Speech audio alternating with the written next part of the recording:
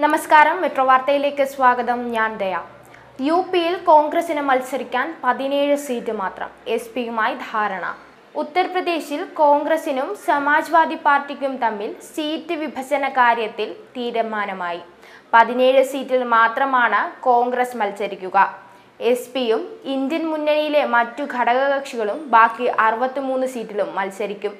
ഈ ധാരണ അന്തിമമായതോടെ അഖിലേഷ് യാദവിന്റെ പാർട്ടി ഇന്ത്യ മുന്നണിയിൽ ഉണ്ടാകുമെന്ന ഉറപ്പായി.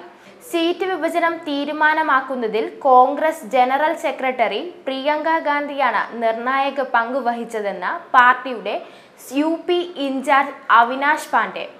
ഇന്ത്യയിലെ ജനങ്ങൾക്ക് ആവശ്യമുള്ള കാര്യമാണ് അഖിലേഷ് യാദവും മല്ലികാർജുൻ ഖാർഗെയും ചെയ്യുന്നതെന്നും എസ് പി സംസ്ഥാന പ്രസിഡന്റ് നരേഷ് ഉത്തം പട്ടേൽ.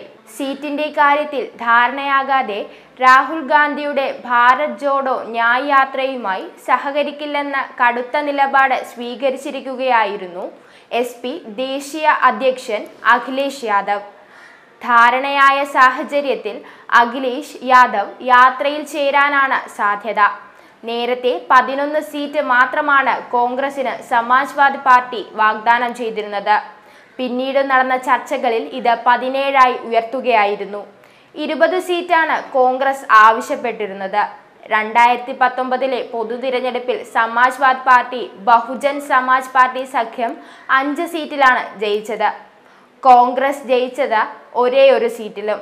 റായ്ബോറയിലെ സോണിയാഗാന്ധിയുടെ അമേഠയിൽ രാഹുൽ ഗാന്ധിയും ആ തിരഞ്ഞെടുപ്പിൽ പരാജയപ്പെട്ടിരുന്നു. രണ്ടായിരത്തി പതിനാലിൽ സംസ്ഥാനത്ത് കോൺഗ്രസിന്റെ വോട്ട് വിഹിതം വെറും ഏഴ് പോയിന്റ് നാല് ഏഴ് ശതമാനമായിരുന്നു. രണ്ടായിരത്തി പത്തൊമ്പതിൽ ഇത് വീണ്ടും കുറഞ്ഞ് ആറ് പോയിന്റ് മൂന്ന് ഒന്ന് ശതമാനമായി. അതേസമയം സമാജ്വാദി പാർട്ടിക്ക് രണ്ടായിരത്തി പതിനാലിൽ ഇരുപത്തിരണ്ട് പോയിന്റ് ഒന്ന് എട്ട് ശതമാനം വോട്ടായിരുന്നു ഉണ്ടായിരുന്നത്. രണ്ടായിരത്തി പത്തൊമ്പതിൽ ഇത് പതിനേഴ് പോയിന്റ് ഒൻപത് ആറ് ശതമാനമായി കുറയുകയും ചെയ്തു. ന്യൂസ് ഡെസ്ക് മെട്രോ വാർത്ത.